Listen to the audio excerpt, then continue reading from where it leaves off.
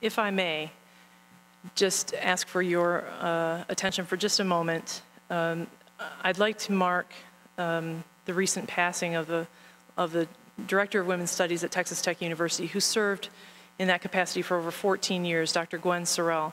And if I could have just a, a very brief moment of reflection from you about the importance that she had for our community and for Texas Tech University, I would be grateful.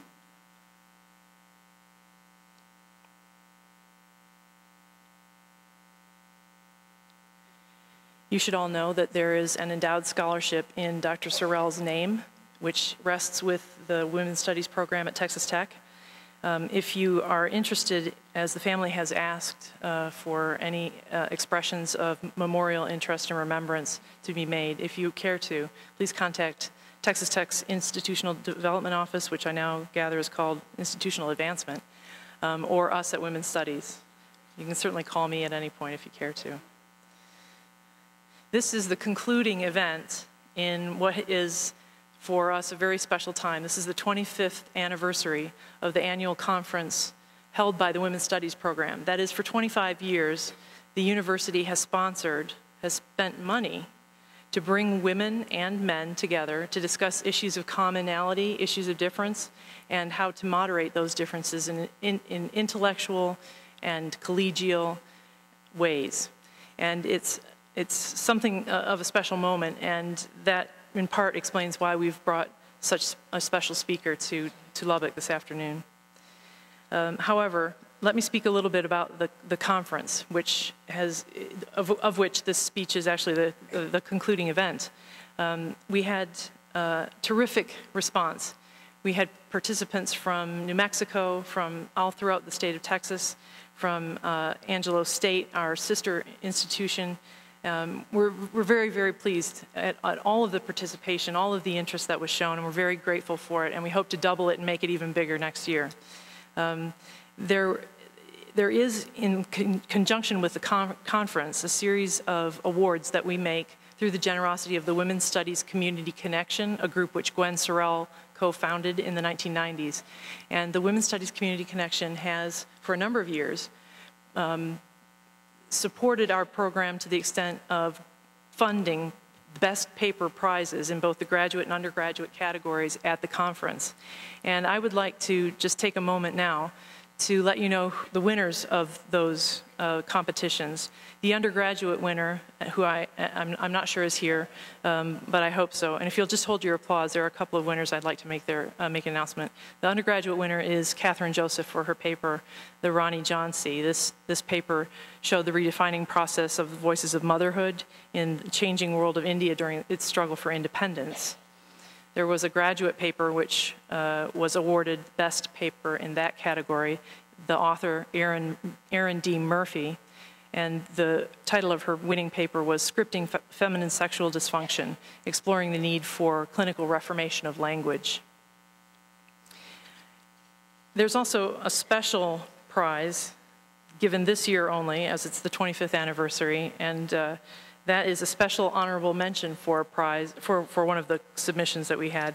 That honorable mention goes to Ms. Chloe Willett for her poster Wonder Woman. Chloe is uh, in the second grade at Roscoe Wilson School, and today is her birthday.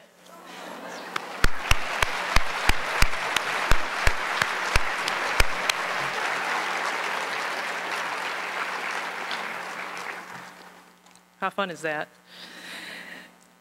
There are a lot of people who have made this afternoon's uh, presentation possible, and many of them are uh, with the university. And I would just like to very quickly let you know how much space the Women's Studies program takes up on campus. And one of the ways I can let you know that is by telling you how broadly we were able to uh, bring this program to the attention of deans and administrators and get a, a positive response from them in terms of helping us to manage to put the program together and to bring uh, Gloria Steinem to Lubbock.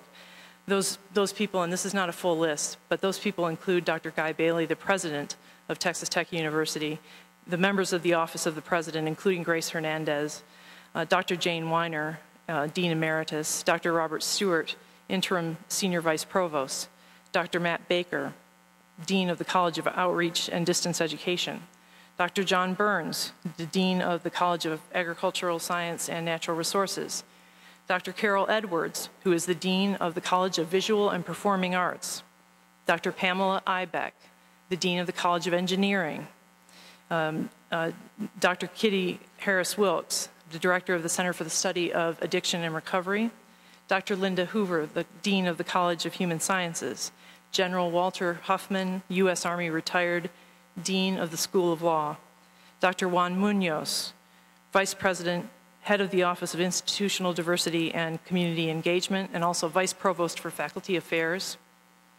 Dr. Lawrence Schovanec, the Interim Dean of the College of Arts and Sciences, and Dr. Michael Shonrock, who is Vice President for Student Affairs. All of those people and all of those offices help support this moment, and if you would join me in thanking them, I would be most grateful.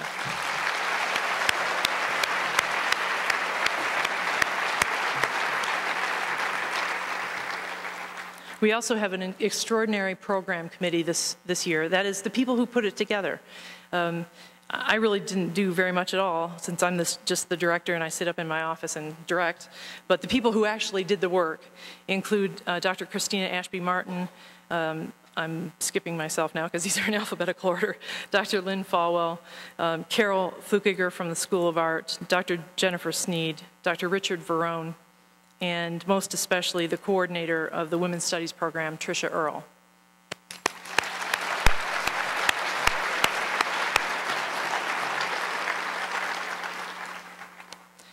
I have the pleasure now of, of introducing um, one of the most one of the most senior members of the university administration who will welcome Gloria Steinem to Lubbock and to Texas Tech University on, on my behalf and on behalf of the program committee.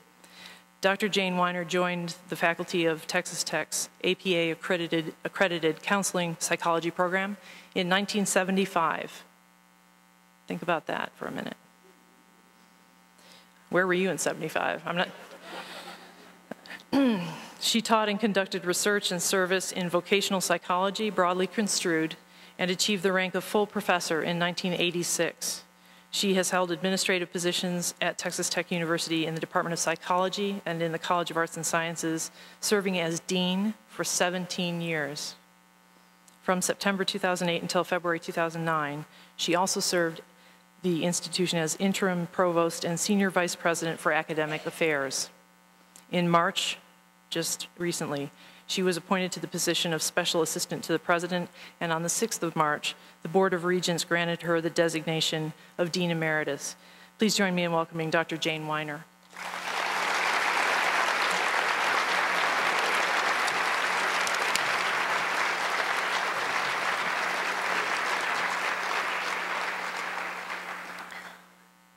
Thank you, Dr. Calkins, for your kind remarks and for giving me the privilege of welcoming and introducing our keynote speaker.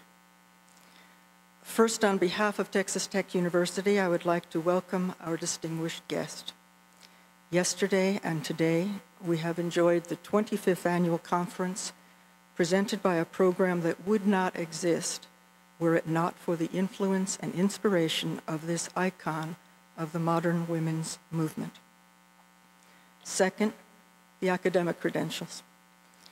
Our speaker is a Phi Beta Kappa graduate of Smith College, a published author of four going on five books, one long-lived magazine, and has received numerous awards, including the Emmy and induction into the National Women's Hall of Fame. Her work has had national and global impact in advancing workplace dignity and equality for women, and through the 1977 National Conference on Women, developing federal attention to and funding of a national agenda for gender equality in employment, housing, compensation, child support, and other issues.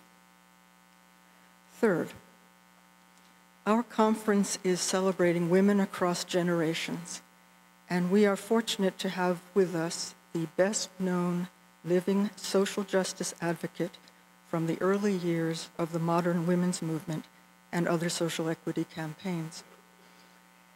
In 1972, when our honored guest founded Ms. Magazine, Dr. Calkins was a young child looking for a strong woman role model and found her in our guest.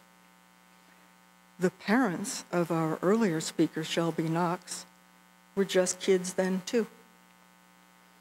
I was a graduate student in a nationally accredited, uh, accredited doctoral program with no women regular faculty, where it was generally known that a professor had beaten a female graduate student in the parking lot, and that spent four one hundredths percent of its enormous athletic budget on women's athletics, but where I at least had been accepted. One of my undergraduate roommates, with grades and scores similar to mine, had been rejected by another university because they had never admitted a female graduate student in her field and did not intend to begin with her. But this state of affairs was accepted because, after all, women were to love and be loved, and what did education and work have to do with that? As a graduate student several decades ago in a field that deals with both love and work, I then looked at our speaker's contributions with admiration from afar. She helped me crystallize a concept that I had vaguely felt. That is, Love without respect is not love. Love may or may not be necessary to life, but even if it is, it is not sufficient without respect. It is an honor to introduce our speaker, Gloria Steinem.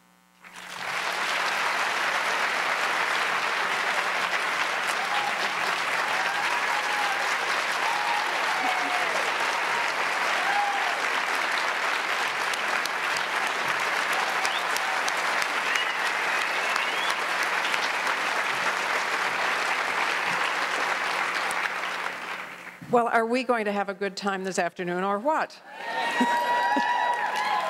Who says Lubbock is a conservative place?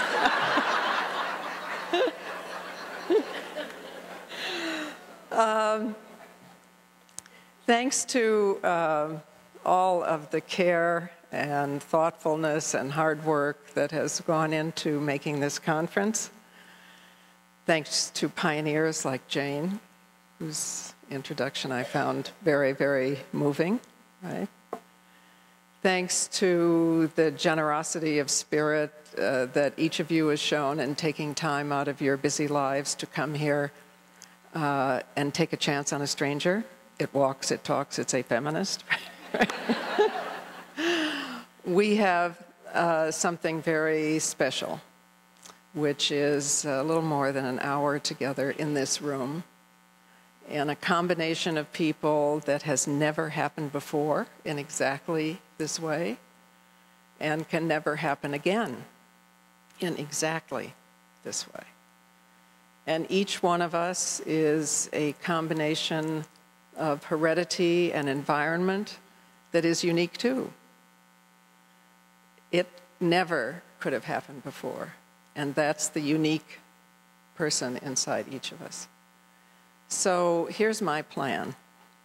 Uh, if all goes well, I hope that we can leave this room, each of us, me included, with one new piece of information, one new feeling of support, one new organizing tactic, one new subversive announcement of the next meeting that's going to.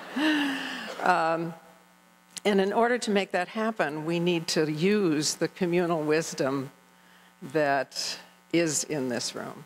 So my hope is that during what is usually called the question and answer period, uh, we will try to pretend we're sitting in a circle and we can see each other's faces. Uh, after all, I know because of our numbers we have to sit this way, but this is a hierarchical structure with people looking at each other's backs and me looking at you. Hierarchy is based on patriarchy. Patriarchy doesn't work anywhere anymore, including in this room. um, so I hope very much that you won't feel uh, confined even to asking questions, that you will give us answers. We certainly could all use some answers, and that we can pool some of the great knowledge and the hearts and minds that are here for this short period of time. Um, and incidentally, if there's something you want to call attention to in this community that you'd rather not stand up and say, pass me a note, I'll read anything. I'm leaving early in the morning. and perhaps together we can um, begin what I know Shelby Knox uh, called for this morning, which is a community wide dialogue that will help to free us all and allow us to be the unique individuals we, we truly are. Um, I suppose in some ways this uh, is an effort, the, all social justice movements are an effort to redefine politics. You know, politics have been defined as just what happens in the ballot box, and the rest of it is uh, cultural or social. Actually, I think sometimes what happens to men is defined as politics, and what happens to women is culture. It's a way of saying you can't change that, that's culture, you know. But the fact is that what we are here to talk about is, uh, is quite visible. If you think about this campus, uh, and you see more male human beings in uh, engineering courses and more female human beings in the School of the Arts or in communication or in education. That's politics.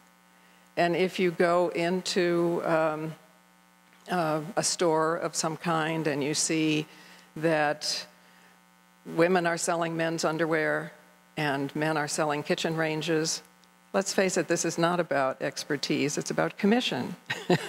so it's about politics.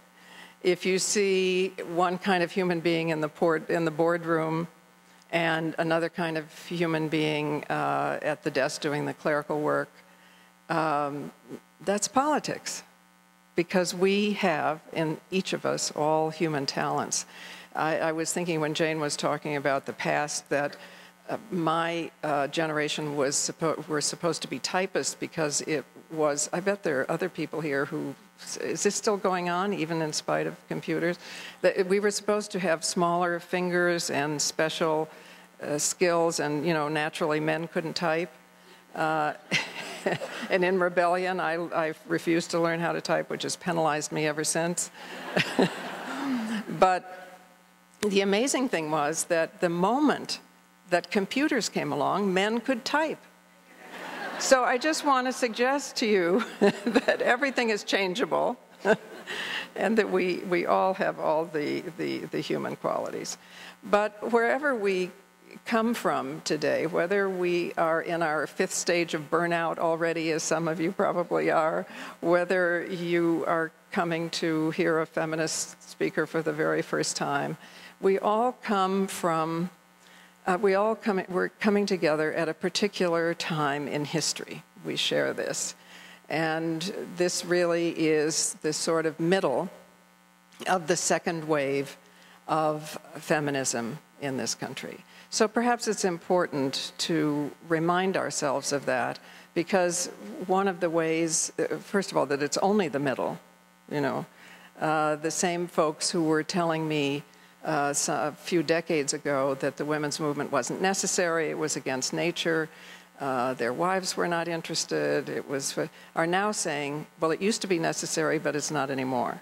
So the way, the mode that, uh, that um, uh, resistance takes now, that obstruction takes now, is to say it used to be necessary. So maybe by placing ourselves in history, we will understand that if it took a century to gain a legal identity as human beings for women of all races and men of color, every one of whom was ownable before, like a table or a chair.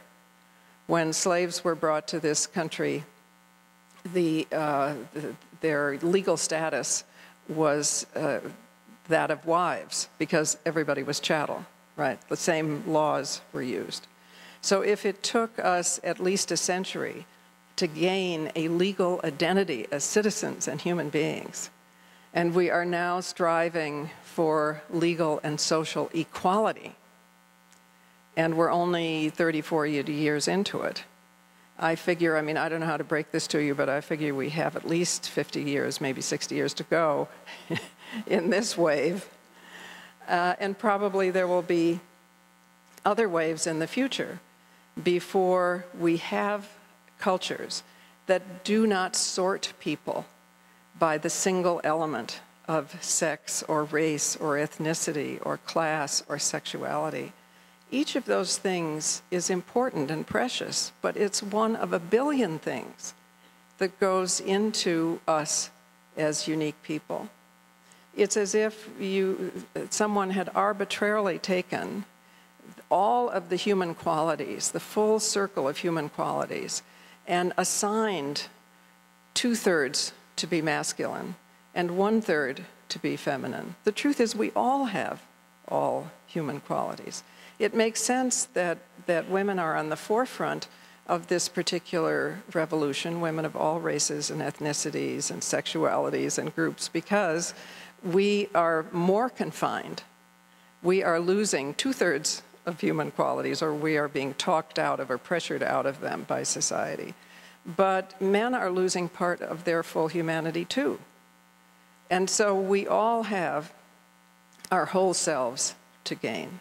And the truth of the matter is that there is more difference between two unique individuals, who, two women, two men, two people of the same race or ethnicity. And race, of course, is a fiction. I mean, it, it was a minor adaptation to climate. There is no such thing as, as race in actual fact. But if you, if, you, if you take the few differences there are having to do with reproduction when it comes to sex, which of course we hope is chosen, freely chosen now, not imposed, uh, or what, if it comes to resistance or vulnerability to certain diseases when it comes to different ethnic groups because of the adaptation to climate, those, those differences are far, far, far less than the differences between two members of the same group. So what we're trying to do is get rid of the labels, free ourselves, and we all have a stake in, in gaining our, our full humanity. Um, I think to, we get a glimpse of what's missing because now we have, or what we have been missing, because now we have women's studies and African American studies and Native American studies and gay and lesbian studies and, and uh, everything that should really be called remedial studies. because, wait a minute, you know, we, how about human history?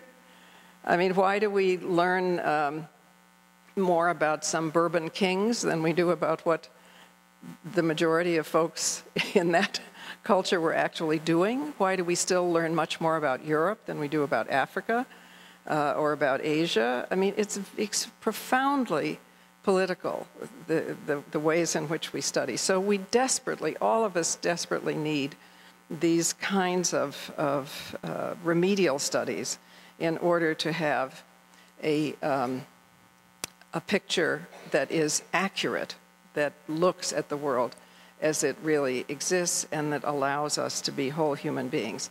But I think this past election has uh, given us a glimpse, just a bare glimpse of what we've been missing. By being able to see Barack Obama and Hillary Clinton, uh, and for that matter, Sarah Palin. I mean, we have to defend the equality includes the right to be wrong.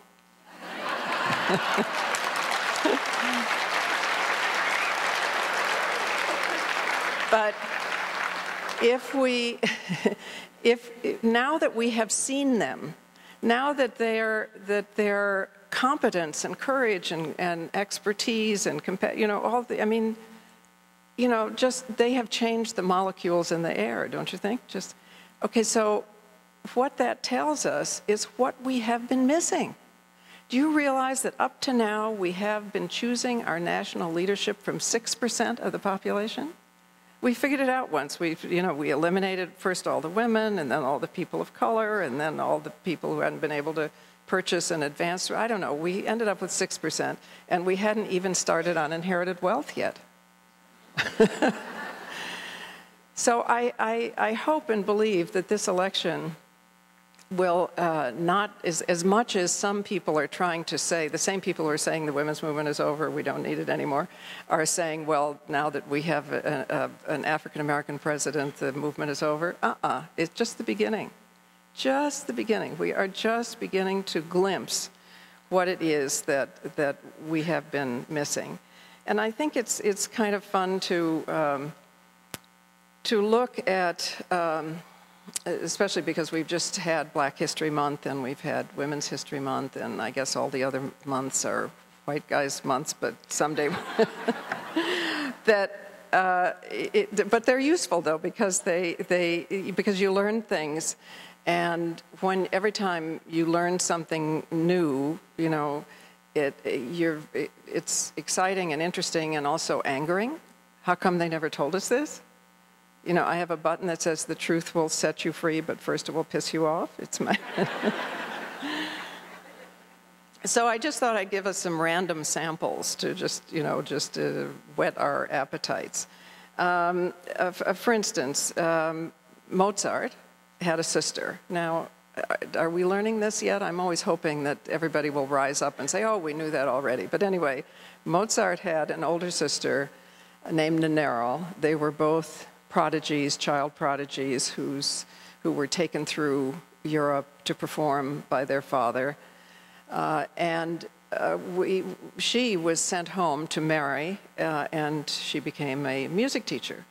We only know about her really because they were so close, the brother and sister, having you know, been uh, really on their own as performers all of their childhoods, that uh, Mozart kept writing to her and there's a collection of letters called Dear Horseface, because that's what he called her. and, that's, and that's how we know about her. But what's interesting is that in them, he says, she was the talented one. So who are we losing, you know? Who right now, who are the, the great female composers who are singing lullabies? And the great male composers who are not singing lullabies and who are therefore, you know, missing a whole human experience. Who are the great uh, novelists who are writing in their diaries? You know, if, if we can take what we don't know about history and use to question the present, then I think we will have really uh, become educated and used education in the best way. Think about the space program. I believe we still think that Sally Ride was the first female astronaut, right?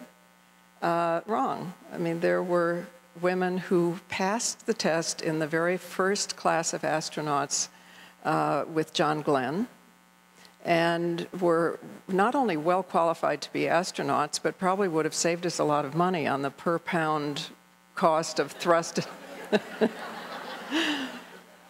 And they were washed out just because they were females.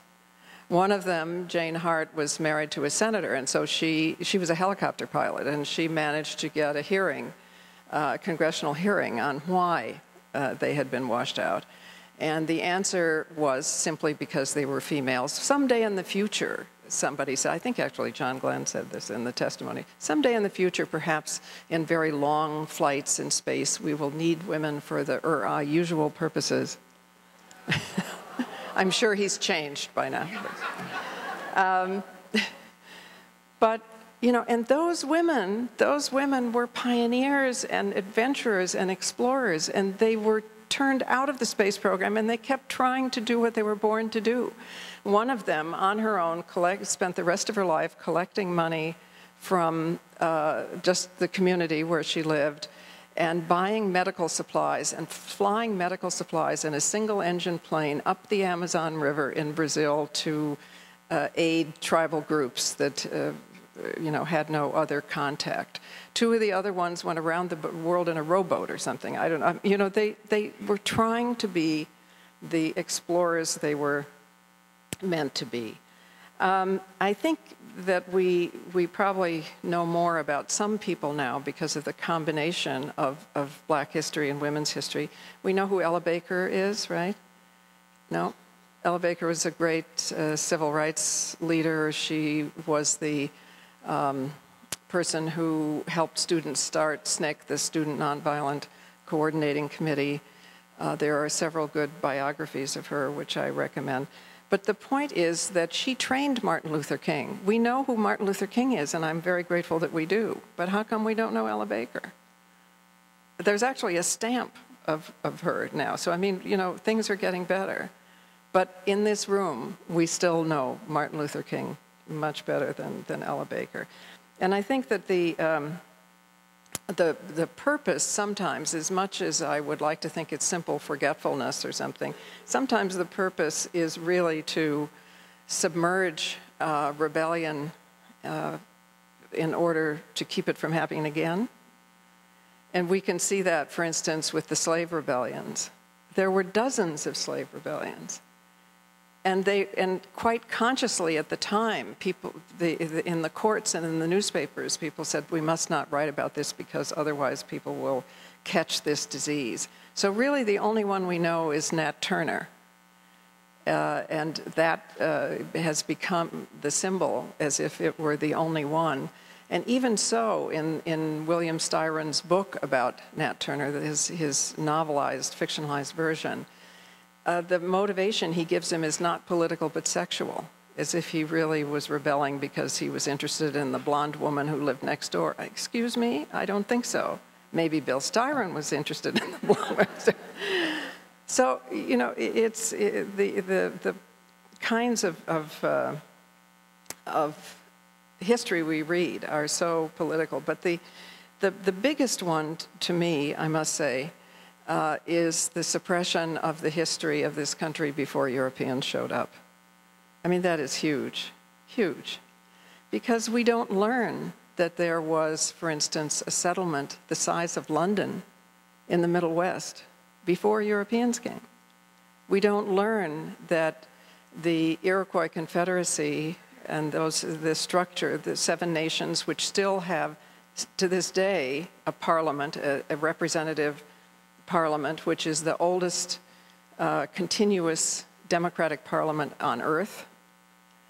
Uh, we don't learn that the native cultures were the uh, a and perhaps the inspiration for the suffrage movement because women were equal within them, controlled their own fertility, decided when and whether to have children. The cultures were matrilineal.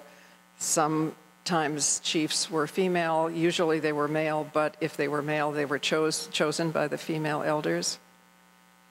You know, we don't, it was, it was the sight of these cultures um, uh, by European women who came here at the low point of, of any kind of glimpse of equality in, in Europe who, who were chattel, as we've already seen, who were owned, um, at a and, and at a time in, in which in Europe they thought that even criminality was inherited. I mean, it was the peak of a hierarchical view of the world. They had no rights. Where did they suddenly get the idea that women could be equal? And the answer seems to be from the native nations that were still visible. They weren't on, put on reservations until the 1900s. People still went to the same little general store and could see each other. The suffragists had dinner every Sunday night with um, uh, Native women in upstate New York. You can, you can read descriptions of them sitting there in their hoop skirts and corsets that were so tight that they fainted and you, they had to take smelling salts with them, right? And they're sitting next to Seneca women in nice chamois tunics and comfortable trousers, beautifully beaded. And so, you know, that's, that's um, where the bloomer costume came from. And not only that, but those women uh, completely, as, as was true in most of the original cultures that we know about, understood how to control their own fertility through the use of herbs and abortifacients, the patriarchal idea that women were the means of production to be controlled by men hadn't come along yet. So, you know, I mean, this is. Did we? Did anybody here learn this? That that the Native American cultures were an inspiration for the suffrage movement and the main part of the Underground Railway too, because they had territory. And because they were not believers in race, uh, racial difference, they just if you if you believed in the way, you know, if you behaved well, then they adopted you. You know, it was a great uh, custom in native cultures to adopt people and give them a native name. It's probably why we see so many families who who have a shared heritage through intermarriage of African American descent and Native American descent. So, so I think we um, at least can be made curious about not only what we are not learning about history, but how it affects us right now.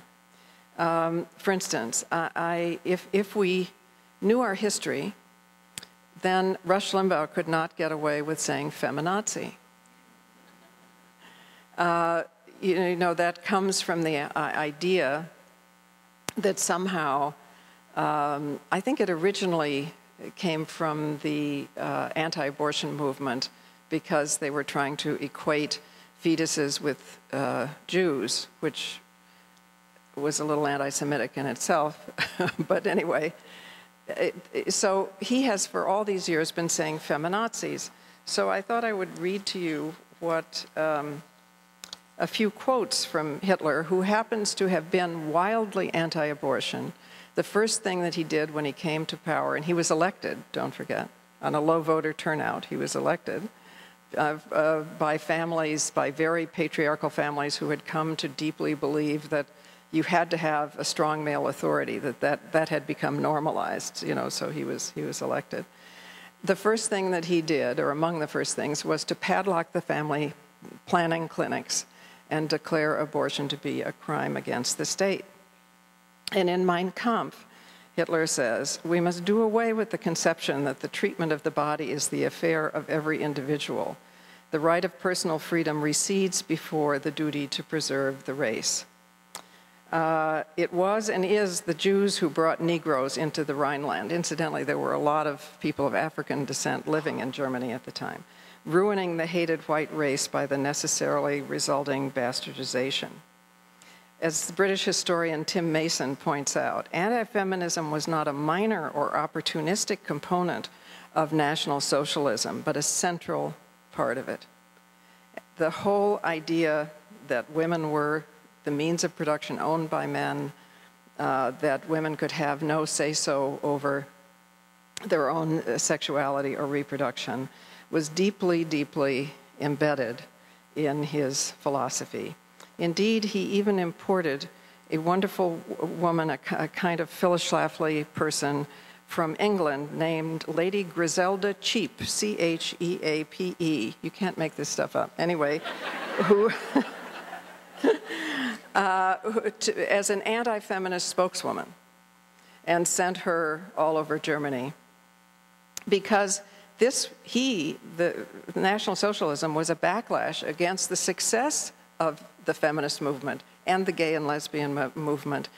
The, there were more women in the Reichstag than in any parliament in the world. There was a huge feminist movement, uh, and there was a huge uh, sexual liberation movement. And uh, Jews were well integrated into society. He, he, he was a right wing backlash against all of that. Um, and in 1933, feminists were removed by law from teaching and other public posts. It was the very same law that removed all non Aryans from such jobs.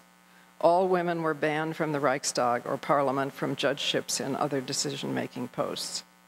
And what were the um, uh, German feminists saying? They said, the competence of the modern state is limited by preserving the reproductive freedom of the individual over his or her own body. Does that sound familiar?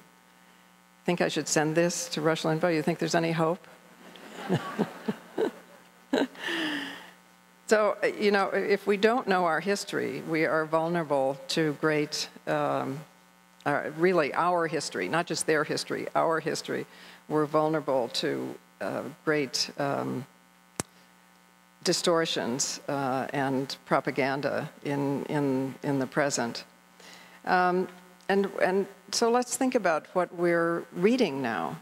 And are we getting the whole story, which hopefully we are getting more of? But um, for instance, I recently saw a story about emergency rooms, since, of course, in this financial climate, emergency rooms become the last resort for people who have lost their health care or who never had health care and so on. And it's becoming much, much worse. The, um, the use of emergency rooms is now uh, way beyond their ability to respond. The average waiting time is something like three or four hours, no matter what's happening to you. So wouldn't, wouldn't it help us somewhat to know that half of the women who are going to emergency rooms uh, have been hurt by their intimate partners? If we ended or diminished domestic violence, that but that's not part of the story. We're still only getting part of the story. Um, it would um, help us, I think, when we talk about uh, childcare and this being the only modern democracy in the world without some national system of childcare. I mean, we are getting this story sometimes, although not necessarily with comparisons to the rest of of the country and how very far, or the world, how very far behind we are. But we're not seeing what it's doing to girls because girls are getting an unfair degree of the responsibility of caring for their younger siblings. And what that means is that they are being penalized in their own freedom and education doubly, both as young people and children themselves and as the caregivers for other young children. Um, we um, have, of course, as you know, the highest rate of unwanted teenage pregnancy uh, in the world uh, of, of, any, you know, modern country at all. And uh, I think Lubbock is right up there in uh, contributing to this in terms of national uh, statistics. Uh, and that, okay, we know that, but do we know there's just a report saying that ch uh, a child in this country is abused every 10 seconds? Those things are connected. Those things are connected. How is it that we can pretend that sex education is the only subject to be valued by the absence of knowledge, not the presence? You know, sexuality is a part of life. The, we, we are told by uh, various groups here that sexuality is only moral and okay if it takes place inside patriarchal marriage and is directed towards having children. And we would all protect their right to make that, to live in that way. Fine, you know, we all have choices. But that happens to be a lie about human sexuality human beings are the only, of course, at this point I always worry about am I maligning other animals, but I think that human beings are the, uh, the animals, the only animals that don't have periods of heat or estrus in which sexuality is and sexual desire is focused. We uniquely experience sexual pleasure equally whether we can conceive or not. It's a mark of our humanity, like our cerebral cortex or our ability to reason and remember, that for human beings, sexuality is not only a way we procreate if we choose to, but also a way we communicate, a way we reach out to each other and express love and caring. And if we understand that and understand the difference in the two points of view. That is, it's only moral and okay if it's inside marriage and directed towards having children, versus for human beings uniquely, it's also a means of communication. You can understand why the, um, there is opposition to some things that otherwise don't seem logical. I mean, on campuses, people will sometimes say to me, so why are the same groups against lesbianism and birth control?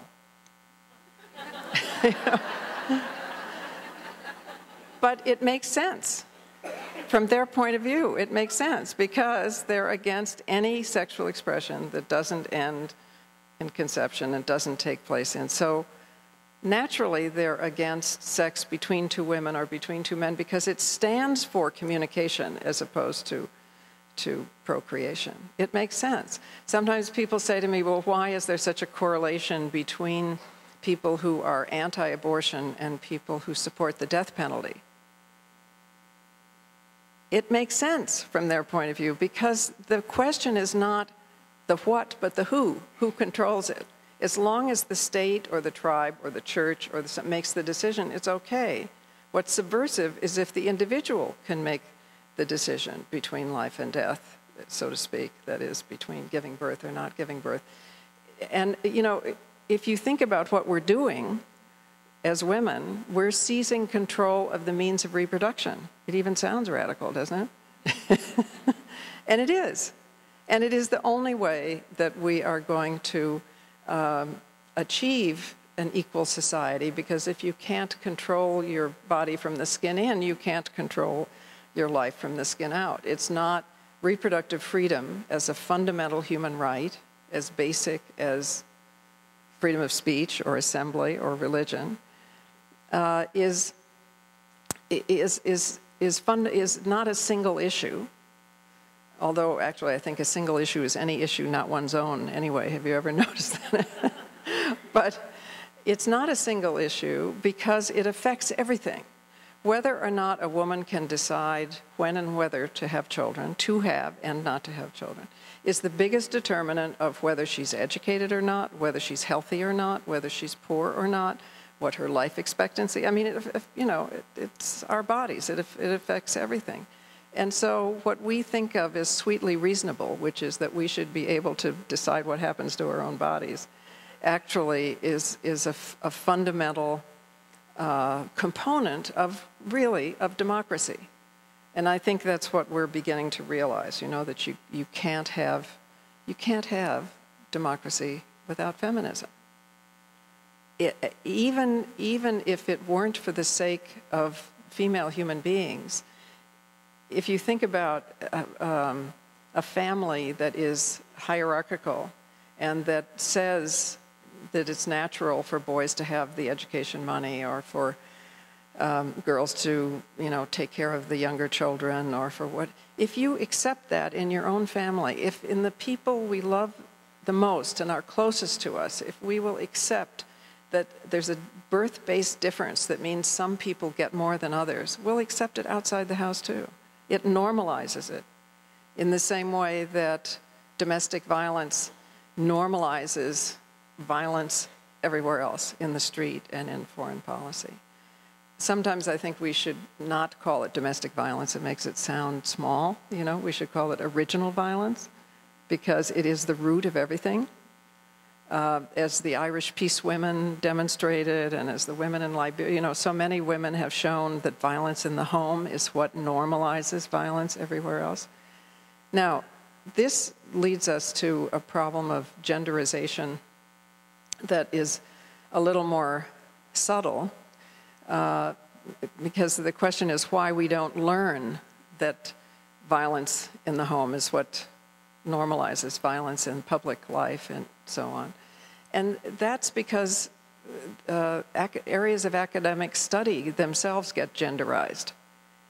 The question of family forms and child rearing is a kind of feminine area, even though there are many important uh, men in it too, but it's kind of feminine, right? And the study of foreign policy and um, government and so on is a kind of masculine area. And the result of this is that I have yet to find a course on any campus that explains that if you don't have a demo democratic families, it's going to be very hard to have a democratic society. That the, um, the ways that the children are raised are very often replicated. I mean, there's a reason why all the great, all the big dictators I know of, Stalin, you know, every, every one of them, um, was a victim of child abuse, sadistic long-term child abuse. And so got no help to get out of it and repeated it. You know, we, this linkage between what happens in our early life and what we do in later life is not being properly made because the areas of study are, are still genderized. Um, but of all these uh, areas, I think all these things we are missing, you know, in terms of learning our history, figuring out the, the, the real story that we are reading in our newspapers every day. Truly, the most intimate thing is that we are missing the rest of ourselves. Uh, it's um, the full circle of human qualities that each of us has. So for women, it may be learning to be, to deal with conflict, to be assertive, to be daring, all these qualities that are wrongly called masculine. For men, it may be learning to be expressive, creative, empathetic, all these qualities that are wrongly called feminine. It, we may be progressing in different directions in order to learn, but the fact is we are we have the same goal, women and men, which is to complete ourselves, to learn all of our human qualities that we share with everyone else, but in a unique way.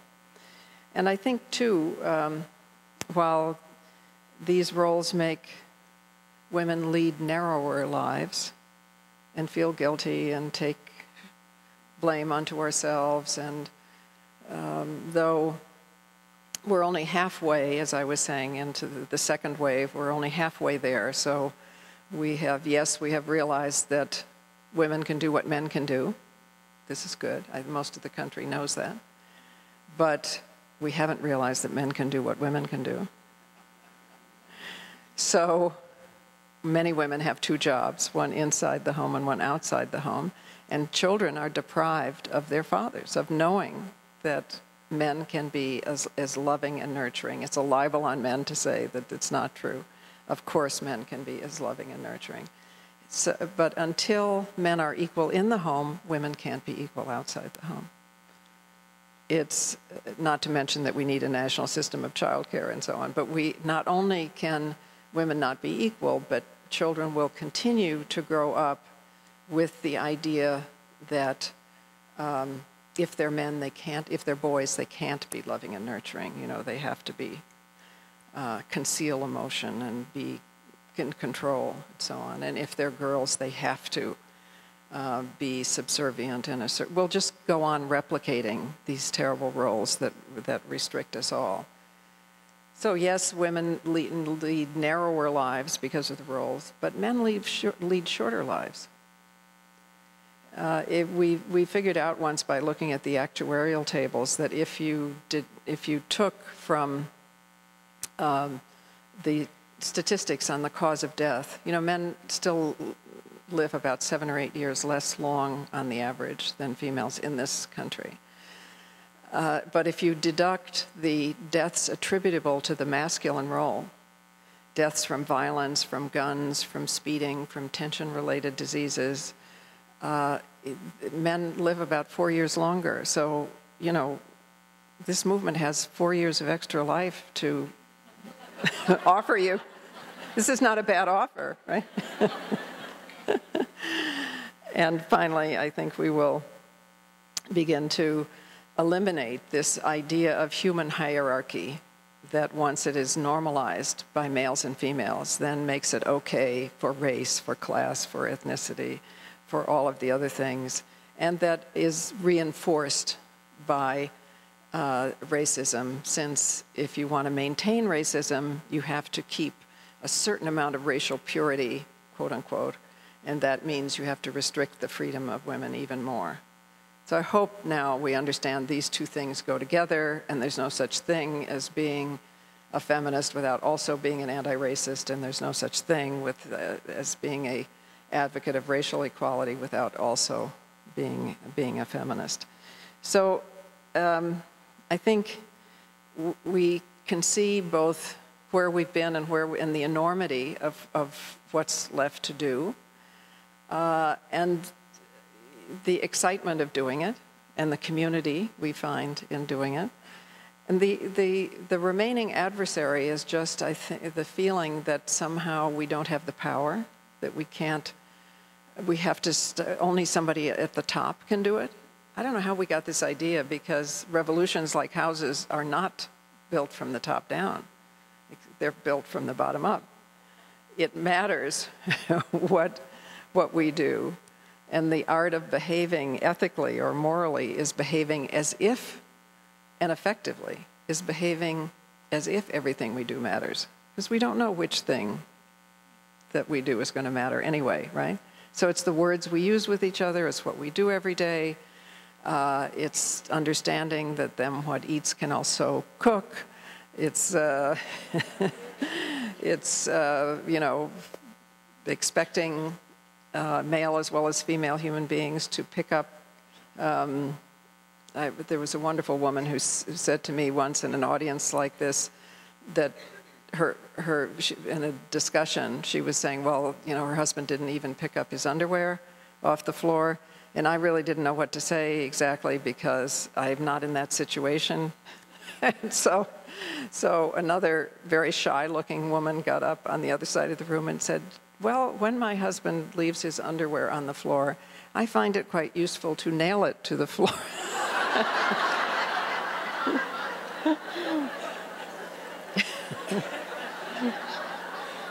so I look forward to our discussion. I'm sure there'll be all kinds of. but uh, it, it, so I, I, used to kind of, and I, fe- I fell in love with an image of uh, the physicist who said that a butterfly's wing can change the weather th- uh, hundreds of miles away, you know, because I thought that proved that everything we do matters. Right? And so I used to end with that sometimes. But then, hopeaholic that I am, even I began to think it sounded a little saccharine. so so I, I, I decided I would learn about butterflies. And I discovered that what really happens is that the caterpillar has within its body imaginal cells. Isn't that a lovely word? Imaginal cells, is what they're really called. Imaginal cells. These cells are activated or activate themselves and are resisted by the caterpillar's body because it has its form. And it is the energy released by that process of change on both sides that turns the caterpillar's body into a gelatinous mass. And that feeds the cells and allows the um, butterfly to be born. It's a much more realistic image, don't you think, of how change happens and not, not to be afraid of, of, of the energy released by the coming together of, of different forces and different ideas because it releases a, a creative energy. So I just want to say today here in Lubbock that it seems to me that this room is full of imaginal cells. And you are going to make a butterfly that is going to change the weather completely in this day. Thank you.